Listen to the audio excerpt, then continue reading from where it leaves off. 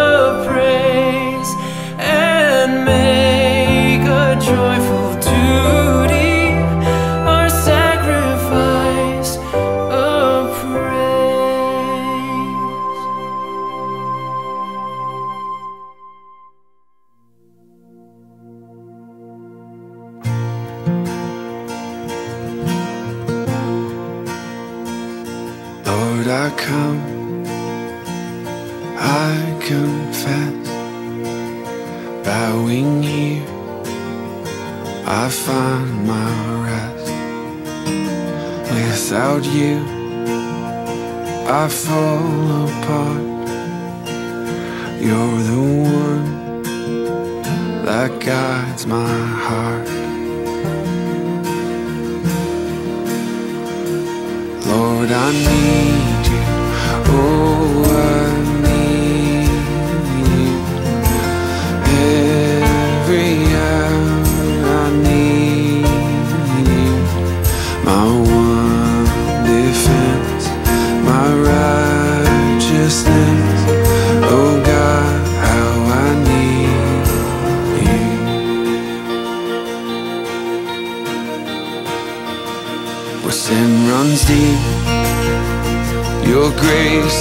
grace more. Grace is found, is where you are. Where you